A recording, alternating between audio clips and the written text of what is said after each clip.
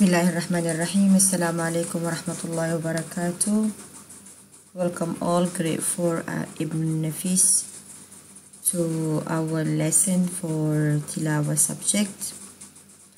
The lesson will be for the recitation section. From the recitation section for Surah Al-Jin, we are going to continue uh, reading Surah Al-Jin, but this time we are going to take from 14 to 17 from 14 here from verse 14 to verse 17 so I'm going to recite these verses I say and then you may uh, uh, repeat after me or you may do it after I done my recitation أعوذ بالله من الشيطان الرجيم وأنا منا المسلمون ومنا القاسطون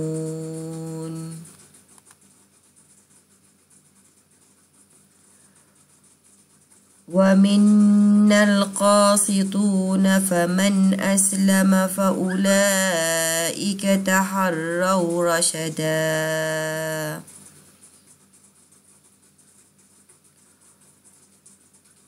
وأما القاسطون فكانوا لجهنم حطبا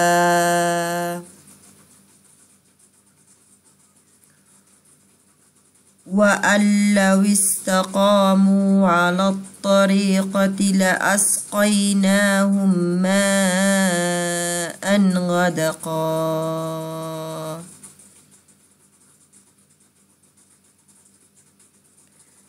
لنفتنهم فيه.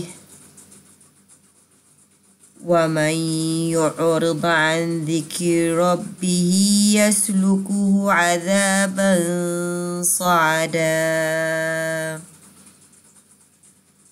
So we stop until 17 So I will repeat again the recitation. أعوذ بالله من الشيطان الرجيم.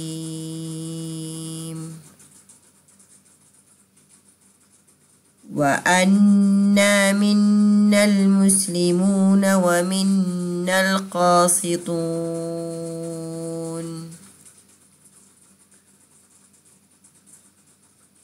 فمن أسلم فأولئك تحروا رشدا.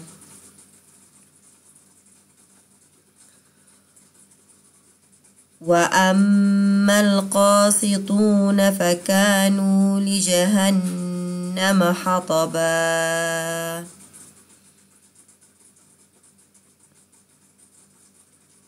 وأن لو استقاموا على الطريقة لأسقيناهم ماء غدقا.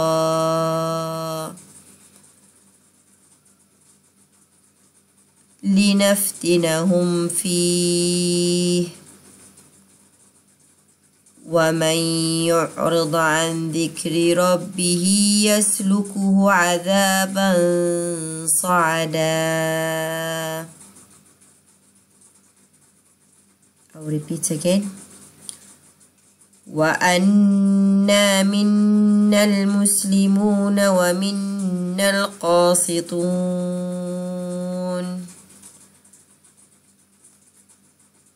فمن أسلم فأولئك تحروا رشدا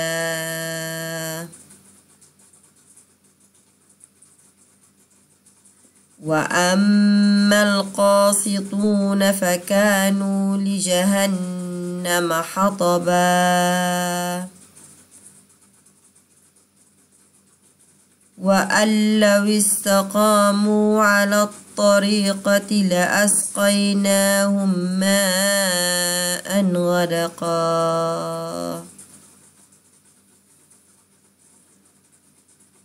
لنفتنهم فيه. ومن يعرض عن ذكر ربه يسلكه عذابا صعدا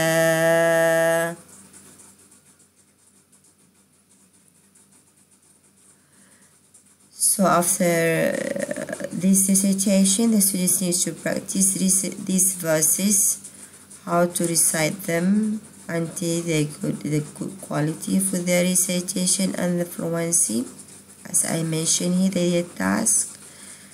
Practice recitation for these verses. After that, they need to do the worksheets number five for Surah Al-Jinn from the same verses that we recite just now. This is a sheet. So the due date for this week is the 5th of May. This is a sheet for this recitation. After that, after they done the, the, the worksheets, they need to send to me for marking. So if you have any question, you may ask me. Wassalamu alaikum wa rahmatullahi wa barakatuh.